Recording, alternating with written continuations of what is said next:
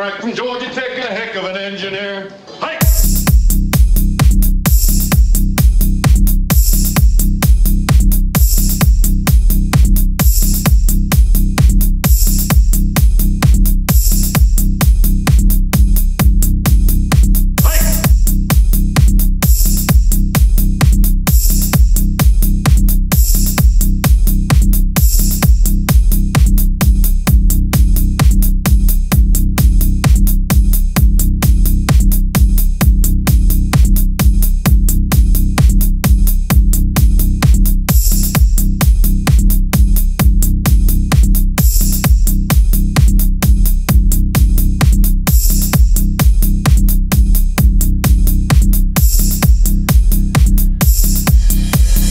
A heck of a heck of a heck of a heck of a heck of an engineer.